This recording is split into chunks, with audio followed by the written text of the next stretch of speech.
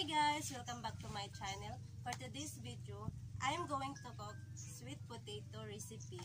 Here's my ingredients. Lumpia wrapper, flavored condensed, and butter. First, lutuin muna natin